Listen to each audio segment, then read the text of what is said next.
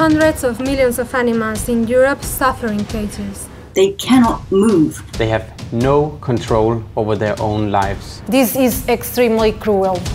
Immensely outdated. And completely unnecessary. 1.4 million people support the European Citizens Initiative to free animals from these horrible cages. Now it's up to the European Parliament to follow through. Share this video and help us end the cage age. Now and for good.